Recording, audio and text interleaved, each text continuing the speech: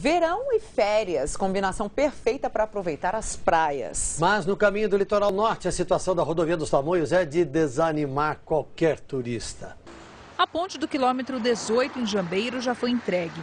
Duas pistas adicionais vão evitar os congestionamentos que eram rotina nesse ponto.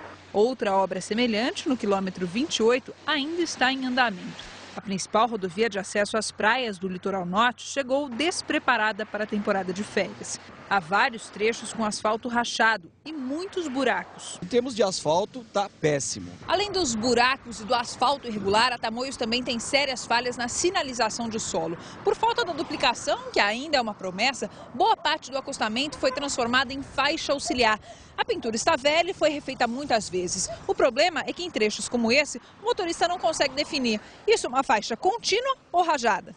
A gente está na faixa auxiliar, daí quando já vai ver, está no acostamento. Isso confundiu um pouquinho o senhor? Confundiu um pouquinho. A falta de espaço faz a Tamoios parar com qualquer acidente. Sem acostamento, o trânsito fica rapidamente congestionado. Também falta pintura no quilômetro 12. Aqui o trecho foi recapeado, mas a sinalização não chegou. Na serra, o asfalto parece melhorar, mas uma obra para a passagem de fios deixou o canto da pista todo esburacado. Essa placa, que deveria alertar para a obra, está quase no barranco. Olha, o DER, o Departamento de Estradas de Rodagem, disse que nos feriados de fim de ano as obras são paralisadas. Os trabalhos recomeçam no dia 5 e a previsão é que os reparos terminem em maio do ano que vem.